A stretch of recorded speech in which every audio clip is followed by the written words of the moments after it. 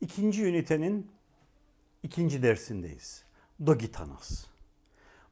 Rutin olarak gün içinde kullandığımız selamlaşma ifadeleri. Dogitanas, Dotanulazca'da gün ağarması, Dogitanas, günaydın demek. Dogitanas. Doğrudan bir insana bunu söylüyorsunuz. Dogitanas. Helakaoba. Helakaoba merhaba demek. Helakaoba. Hela sevinç, kaoba esenlik, iyilik. Helakaoba. Gayte gilumcas. Gay iyi demek Lazca'da.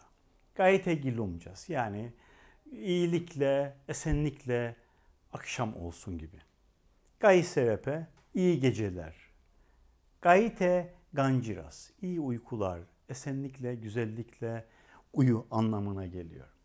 Şunu söyleyebilir bazı dinleyicilerimiz, Lazca'nın tamamında gay kelimesi kullanılmıyor.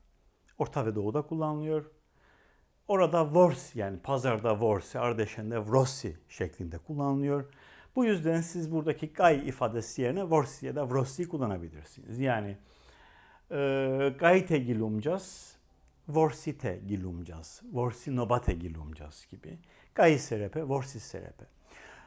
Nasıl ki Türkçe'de kişiye göre, bölgeye göre, insana göre farklı güzel ifadeler varsa, Lazca'da da bunu söylemek mümkün. Bu konuda üretici olabilirsiniz. Yani Gayi Serepe dediğiniz gibi e, Gayi Serepe Gihutas, Gayi Serepe Ortas, Serepeskani Gayi Garas, Borsigayas diyebilirsiniz. Edohisho.